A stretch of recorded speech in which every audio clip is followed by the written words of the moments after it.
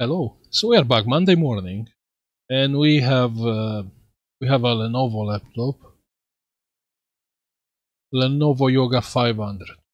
Okay. The problem with this one, you plug the charger and nothing happened. I mean, there's no charging. It's not coming on. Nothing.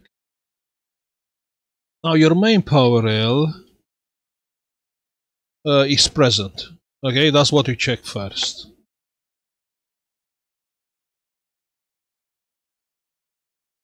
And it is 20 volts you can see on the screen. Now the next uh, thing you'll see okay it is getting something hot and you'll see a chip here yeah? I mean that chip is mad hot. And next to the chip you see four MOSFETs and you see two coils and you realize that's a power supply yeah? Let's have a look together. Uh what it is here yeah? And that chip it's 1275 uh, let's have a look quickly with a little bit of petrol. Yeah just a little bit. Check that chip. That chip is mad hot let me unplug the charger. Unplug the charger using petrol. Now I'm plugging the charger yeah? Plug the charger. You see that chip is mad hot and uh, you know, usually when people see something like that, they say, "Okay, that's great. We have we found a a, a, a burnt chip, right?"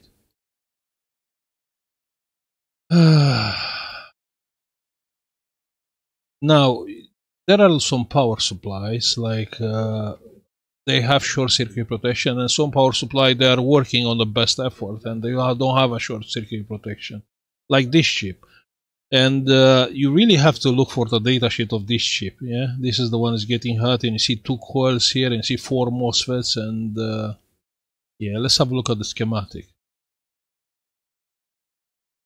Uh, schematic desktop. Yeah that's the that's the chip okay? So you see the input voltage output what the chip is doing built in 100 milliamps 5 volts and 3.3 volts power supply but also, you can see two big power supplies. So you have this one, you have this one, yeah, 5 volts, 3.3, yeah. And then you have two more. Uh, you have two more, yeah. You have VREG 3 and VREG 5. So this 3.3 actually. So the, the, the voltage, the the voltage for the CEO chip, yeah, for the Super IO chip, for the startup chip is not this one, yeah. It's not this 3.3, it's not this one, it's not this big one. This one is for the chipset. For the Super IO, you have this one. Let me see, VREG 3, see? 3.3 volts always on, you can see? So this one is always on. And if this this one is shorted, this chip it will be mad hot. Yeah. Keep in mind those power supply 3.3 and 5 volts are not on till the moment the laptop will start. But this one from here from the bottom 3.3 always on. It's always on, and uh, all what can supply is 100 milliamps. Okay, so let's check together. Uh, let's get the power supply. Let's get the power. You have the power supply on screen. We have like 3.2 volts. And let's come with the voltage on the VREG 3. Okay, I, I unplug the charger. It's not charger there. Let's do it together. So I'm coming with the power supply. And I believe this one. Well, let me see. Uh, that one, yeah? So this one has to be 3.3 here. All is on.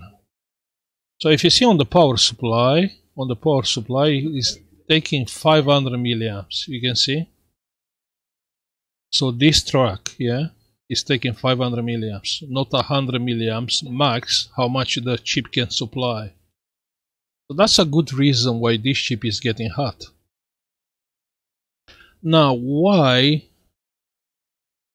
the 3.3 that power rail is taking 500 milliamps? when it's supposed to take less than 100 milliamps because there is the starter chip, the CO chip, which is on the other side. This one. So uh, bad news for this uh, this customer. Well, let's see if we can fix it. You see, that's the reason, probably that's the reason why this laptop died. I haven't cleaned it yet. I said, you know what, let's start the video just to understand the problem. Let me find here, yeah? Let me find here. Let's see if I can find it. Let me see if I can find the 3.3 volts power rail, which is going to the Super IO. Uh, most likely here is. Most likely here. Um, let me come with voltage with 3.3 volts, which I suppose I think is here. Yeah, it's here. So this chip is taking 500 milliamps. No, it's not this one. Sorry. Ah, no. This is the multimeter. Let me come with the power supply. Power supply. And it's taking 400 milliamps, so check there. Yeah, one more time.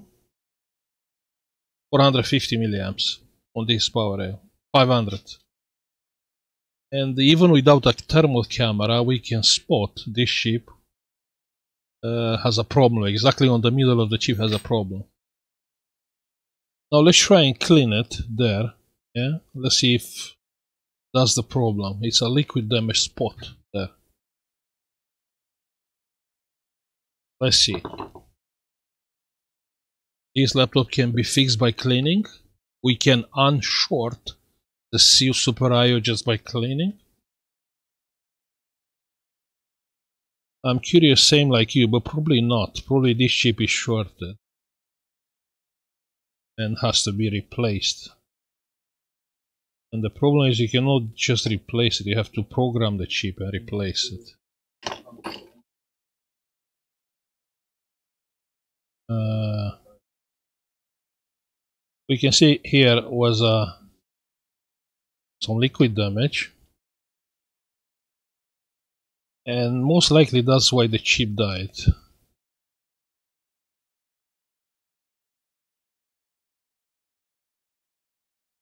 yeah I think we are fine I think we are fine okay let's dry the area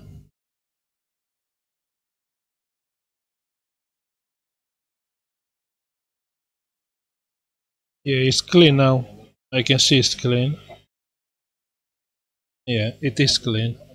Let's see if we fix the problem. Ah, sorry. Uh, yeah. Let's be sure it's dry.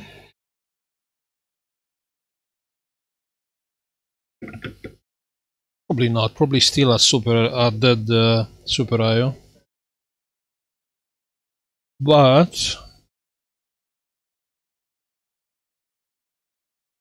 It's clean. You know, it's just uh, just to understand how those things works. Because I seen on uh, on our Discord, usually like every laptop is built like that, and it's there is a 3.3 volts power supply. And uh, when you have a shorter super IO, uh, that chip it will get hot, and people are thinking, okay, that's my problem. That's the problem. It does that. That's the chip because the chip is getting very hot and the chip is faulty. But actually, it's not. You have a shorted output of that power supply. Okay, let's see. Power supply. And the chip is still taking like 300 and something milliamps. Same story with the chip.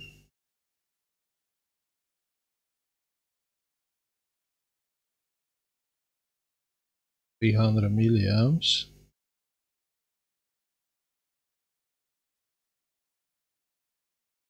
That's interesting. It's not taking 500 anymore, but the chip is still getting hot. I think.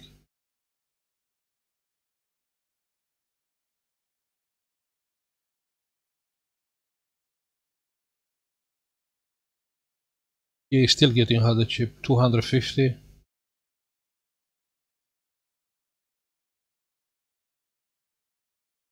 You can see, you can see here on the middle.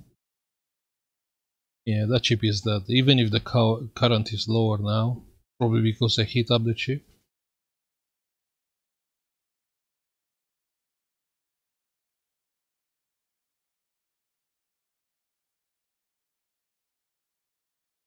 Two hundred milliamps.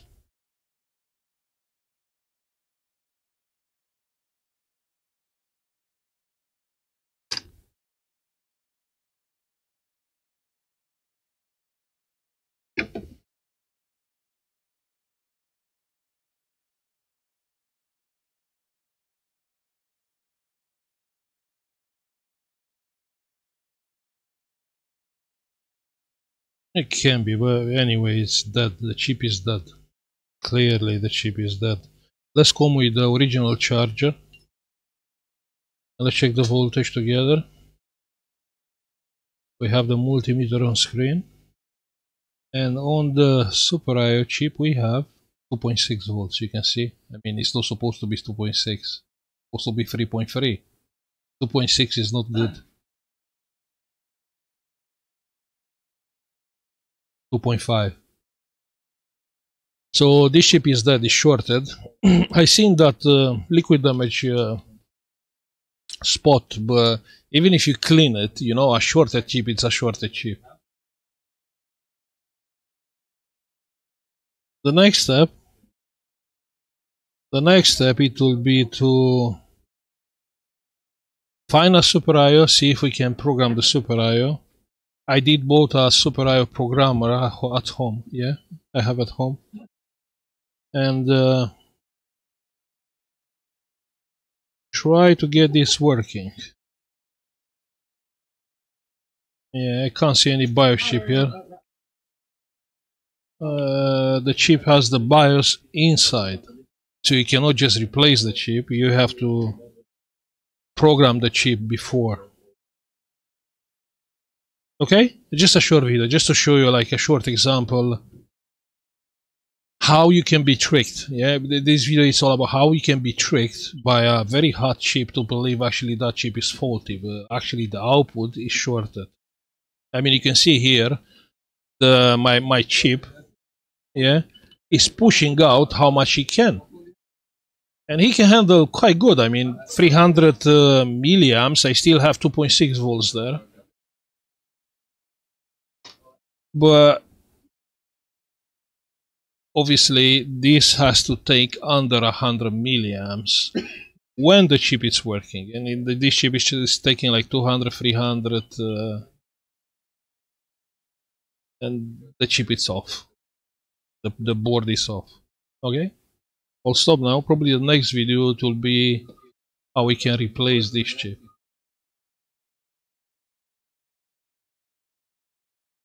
Yeah. Yeah, that's that's good. That's good. That's good. Yeah. Let's wait for the for the chip to arrive. We'll try to program the chip ourselves. I found a chip programmer, uh, CO programmer. We'll see if it's working. I will test it. And I will make a video about this, yeah? See you on the next one. Bye.